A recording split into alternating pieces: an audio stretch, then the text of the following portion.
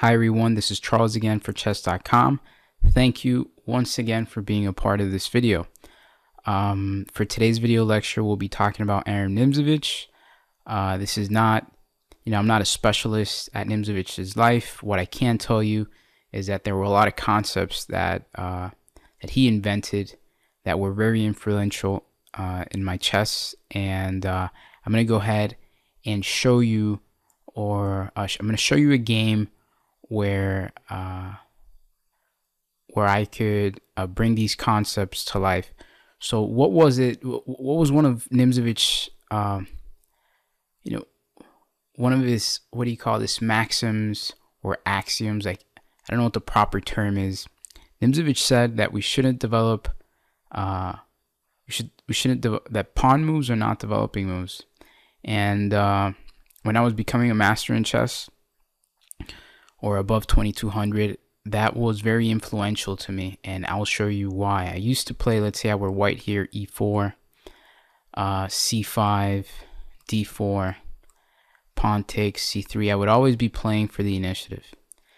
And uh, I'd sac sacrifice material to to gain more time with my pieces and just to attack the king. And this is how chess was actually played in his time. This was uh, this is very easily understood.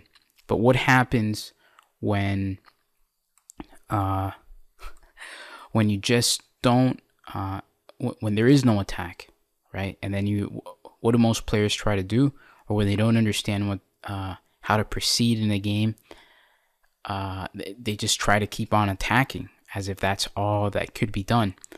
And as we know, there, there are rules to follow in chess, and you know that was a big uh, breakthrough for me. How to you know how to how to stop these compulsions from occurring. So let's say if I were white here, I'd make a move like h4.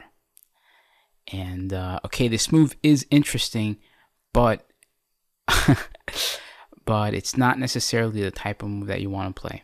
Uh, and this could go on from uh, different positions where let's say I, you know, uh, a G4 type of move. You know, I know there are a couple of G4, some of you G4 guys out there who just want to push G4 and uh, and try to win the game like that because you're trying to force things uh, in a chess game, and that's not. Uh, what's important to realize is that there, there are rules to chess, and um, this is really not.